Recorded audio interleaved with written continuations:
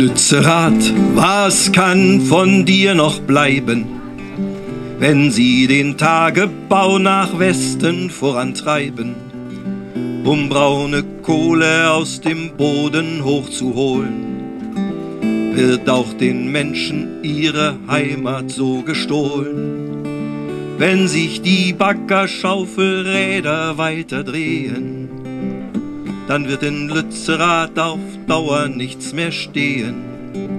Dann bleibt von Lützerath am End nichts mehr zu sehen. Nur noch ein Kreuz wird auf dem Dörferfriedhof stehen.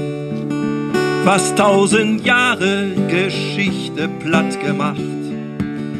Nicht aus Versehen, denn hier weiß man, was man hat. Es geht um Kohle,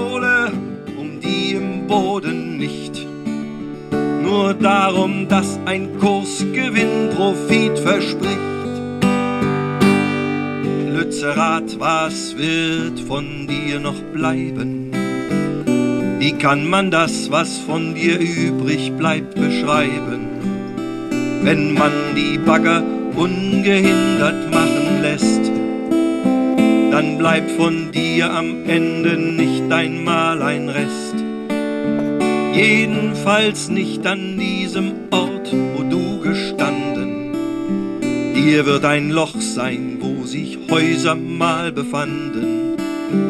Unwiederbringlich jede Lebensspur verschwand. Nicht nur wo Lützerath mit seinen Häusern stand. Lützerath, woran wird man sich noch erinnern? An Heimatschützer, Widerstand von ein paar Spinnern, aus ihren Häusern von der Polizei verjagt. Und die Regierung hier nicht herzukommen wagt. Sie hat die Menschen um ihr Heimatrecht betrogen und mit Gefälligkeitsgesetzen recht gebogen nur RWE Profitinteresse hier noch zählt. Ob irgendwer noch diese Landzerstörer wählt. Fast tausend Jahre Geschichte platt gemacht.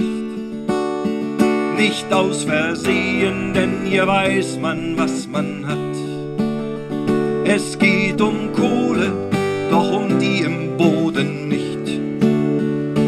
darum, dass ein Kursgewinn Profit verspricht. Lützerath kann man nicht einfach ausradieren, aus dem Gedächtnis nicht, was hier geschah, verlieren. Man nicht vergisst, was man den Menschen angetan, aus purer Gier im blind gefolgten Kohlewahn doch die Regierung, der Konzern sind ohne Sorgen. Sie leben tief im Gestern, scheren sich nicht um morgen. Es wird zu spät sein, wenn man irgendwann erkennt, Kohle von gestern nicht mal profitabel brennt. Lützerath, die Bagger, die am nächsten stehen nur wenn sie abziehen, wirst du eine Zukunft sehen.